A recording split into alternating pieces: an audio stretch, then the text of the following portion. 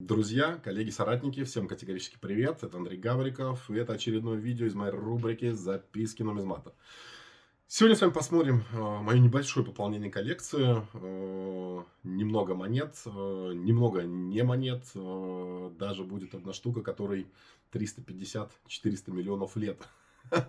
Привез я это дело из Хакаси, но, собственно говоря, посмотрите, посмотрите все это дело в процессе. Ладно, давайте я не буду тянуть со вступлением, давайте вместе с вами перейдем, перейдем и посмотрим, посмотрим, повторяюсь, повторяюсь, а, что же у меня интересного появилось в коллекции.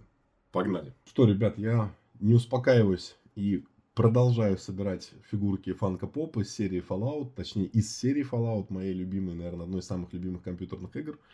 Вот, э, и прежде чем перейдем к монетам, давайте покажу, что у меня появилось нового в коллекции.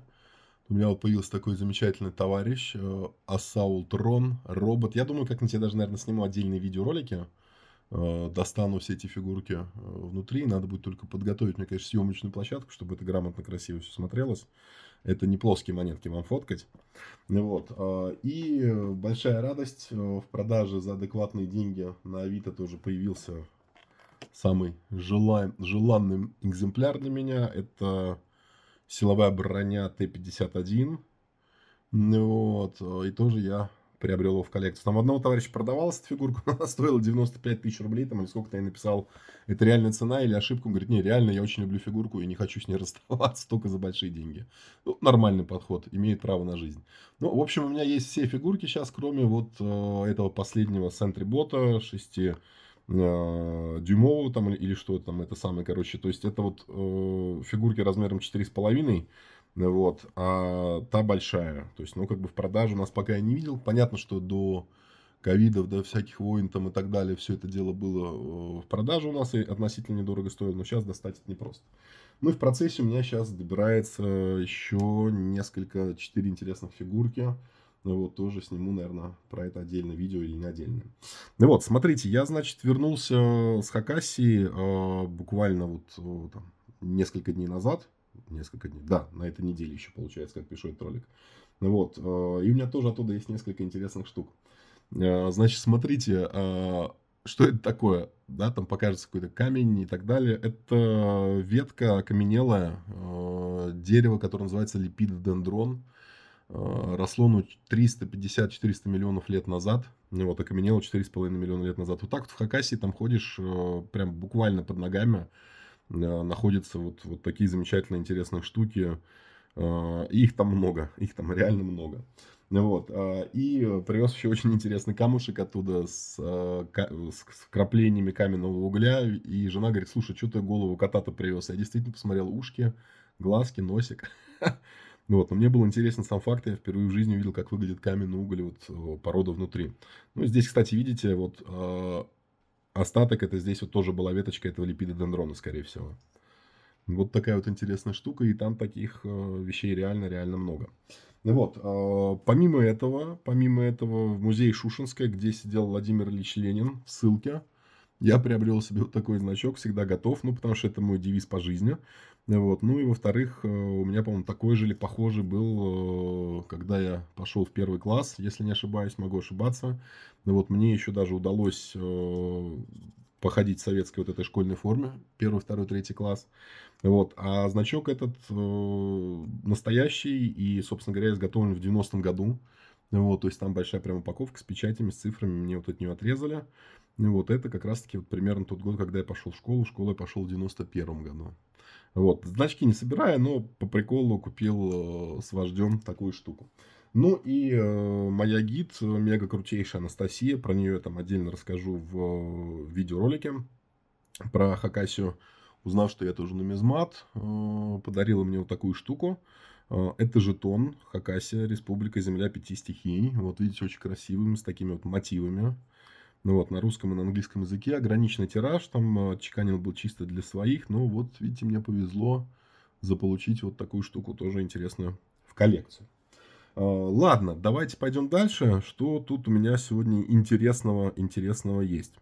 Ну, начну, наверное, я вот с такой самой простой здесь монетки для меня. Это вот катер это монетка 10 дирхам 2006 года. Вот. Э, в состоянии анс есть микро-микро забоинка.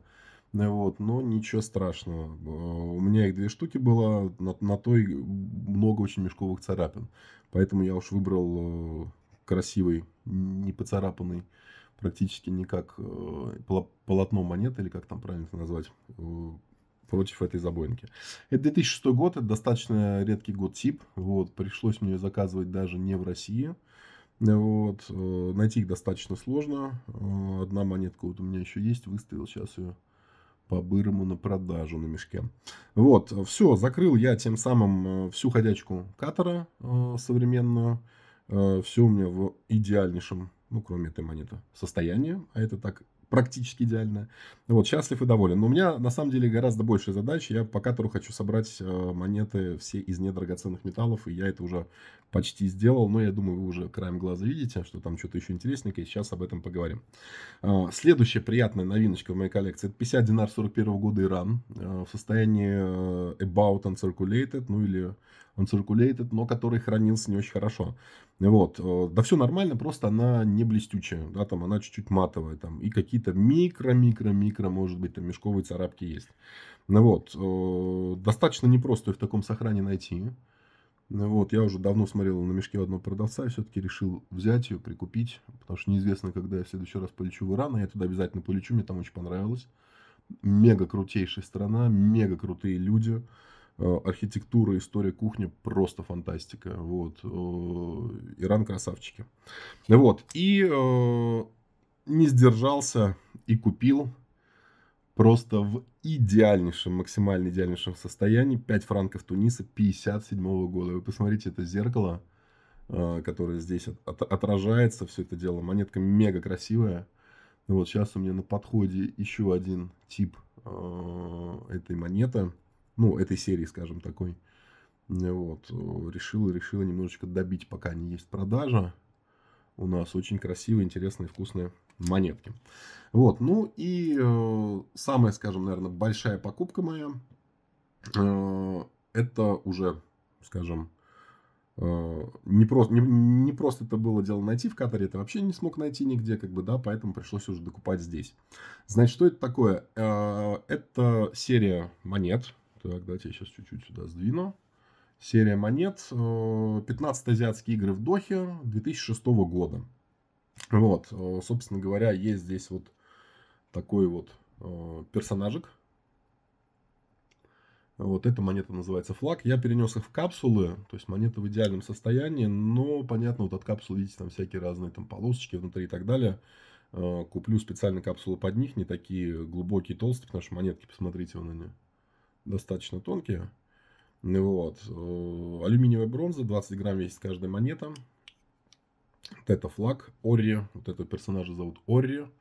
Вот. Э, это Ори у нас скачет на велосипеде. Такая вот замечательная монета. Это Ори у нас играет, конечно же, в футбол.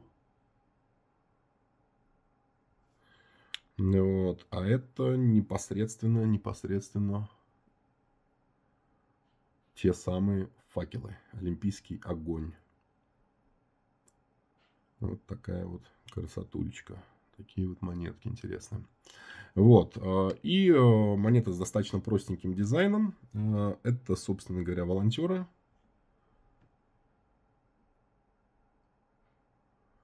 Вот, и это окружающая среда. Ну, надо же повесточке соответствовать, правильно? Вот, причем, ну, вот эту монету в России вы не найдете больше нигде.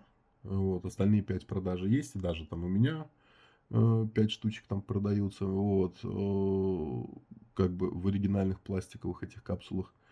Вот, но вот это вы точно нигде не сможете найти. Э, очень редко. Ну и у нас э, в России они, на удивление, стоят Э, ну, как на удивление, меня это не удивляет уже, на самом деле, они стоят у нас дешевле в продаже, чем если будете искать на каком-нибудь eBay, там, про сам катер я вообще молчу, там цены конченые достаточно. Вот, рассчитано все на туристов э, и на богатых местных. Вот, но вот, видимо, кто-то давно закупался ими, и поэтому за адекватные деньги, в принципе, там э, почти полный этот набор можно у нас приобрести.